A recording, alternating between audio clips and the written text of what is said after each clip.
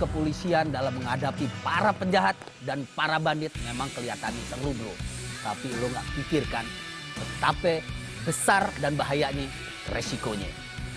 Tapi tetap eh, polisi akan terus memberantas kejahatan demi menegakkan keadilan dan memberikan rasa aman serta nyaman kepada masyarakat seperti aksi yang satu ini.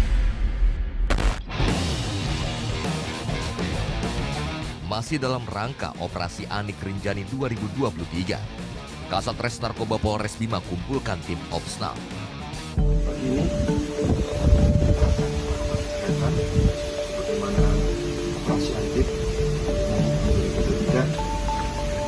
kita akan uh, mengambil target yang sudah kita targetkan yaitu di desa Monggo setelah konfirmasi dengan itu kita akan langsung bertindak bagaimana biasanya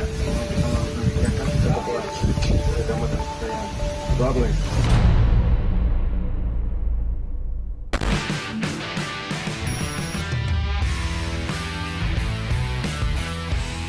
Ya, sejumlah TO sudah dikantongi.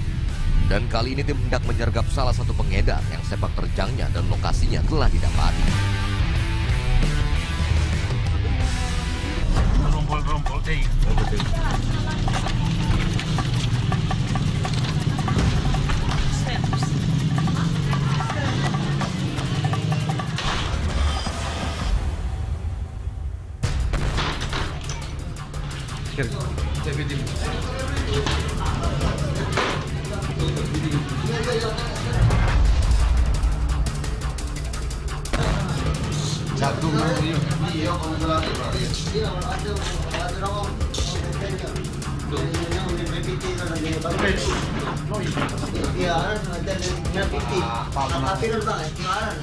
Nosotros.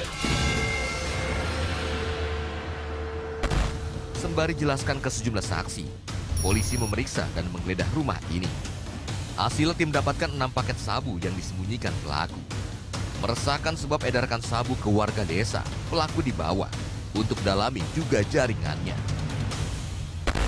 Lelaki warga desa Monggo ini jadi salah satu pelaku terkait peredaran dan penyalahgunaan narkoba yang dicokok dalam operasi kali ini. Pelaku lainnya terus diusut dan perang melawan narkoba pun terus berlanjut.